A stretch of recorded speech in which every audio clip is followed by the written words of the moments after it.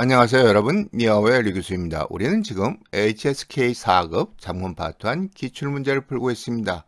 문제를 풀기 위해서 이번 시간의 주요 문법사항에 대해서 먼저 설명드릴게요.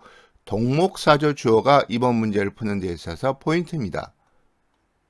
동목사조 주어라는 건요. 동목사조 동사 플러스 목적어로 이루어진 말 뭉치가 주어로 쓰일 경우에는 수어가 반드시 평가나 판단을 나타내는 수라가 와야 한다는 거예요. 그 예문 봅시다. 파산 VO죠. 그쵸? 얘가 주어로 쓰였어요. 헌요이 이스. 등산은 재밌습니다. 주어스칭. 비실린전 일은 반드시 진지해야 합니다.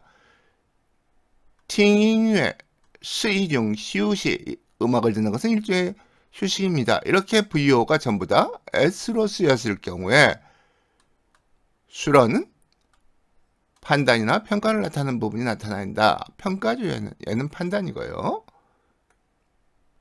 자, 그러면 이번 문제에 나오는 단어들, 주요 단어들 살펴봅시다. 저렌, 책임이죠. 바후, 보호, 보호하다. 띠치오, 지구예요. 자, 이번 문제 봅시다. 메이거렌, 더, 시, 저렌, 바오띠이치오 여러분들이 한번 먼저 풀어보세요.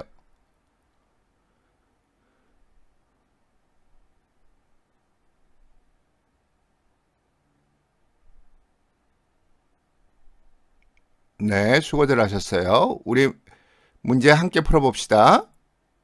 매거는 모든 사람, 매 사람이죠. 의, 이다, 책임, 더가 있으니까 하여간 뒤에 명사성분이 와야 돼요. 바오디이치오, 지구를 보호하는 것은. 자, 그러면 답 나오죠. 바오디이치오, 덕목사제가 주어가 됐죠. 그러면 판단이나 평가를 나타내는 동사가 와줘야 하고 지구를 보호하는 것은 모든 사람들의 개개인의 책임이다. 즉, 바오디이치오 스 메이그랜드 절은 지구를 보호하는 것은 모든 사람들의 개개인들의 책임이다. 이게 정답이 되는 거예요. 맞으셨나요? 혹은 반 정도? 지금 틀려도 상관없어요. 문제은행 방식이라 이번 기출문제는 다음에도 나올 수 있으니까 실전에도 틀리지 않도록 지금 잘 익혀두는 게 중요해요. 자, 여러분들이 한번 복습해 보세요.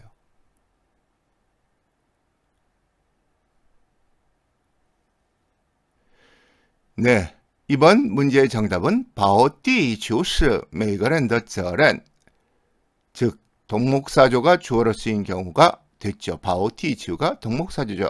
동목사조가 주어로 쓰였을 때 조건과 예문 여러분들이 다시 한번 살펴보세요. 请记得点赞和点击订阅我的频道，并分享和你的朋友。谢谢。